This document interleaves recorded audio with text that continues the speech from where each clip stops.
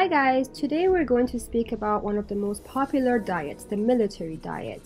So you can lose 10 pounds in a week. The military diet is currently one of the world's most popular diets. It's also free, so there are no books, expensive food, or supplements that you need to buy. The military diet plan involves a three day meal plan followed by four days off and the weekly cycle is repeated again and again until you reach your goal weight. Proponents of the diet claim that it was designed by nutritionists in the US military in order to get the soldiers into shape quickly.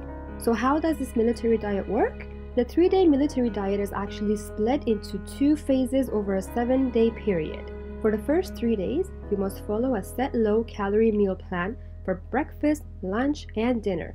There are no snacks between meals. Total calorie intake during this phase is roughly 1100 to 1400 calories per day. This is much lower than the average adult's intake. The remaining 4 days. So, for the remainder of the week, that also involves dieting.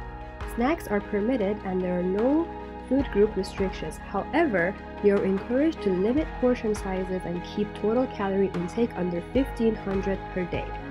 And don't forget to drink plenty of water. To see what the diet involves, you can look in the description below. Also, don't forget to like and subscribe if you haven't already done so. Hit the notification bell so you're up to date with all of our videos.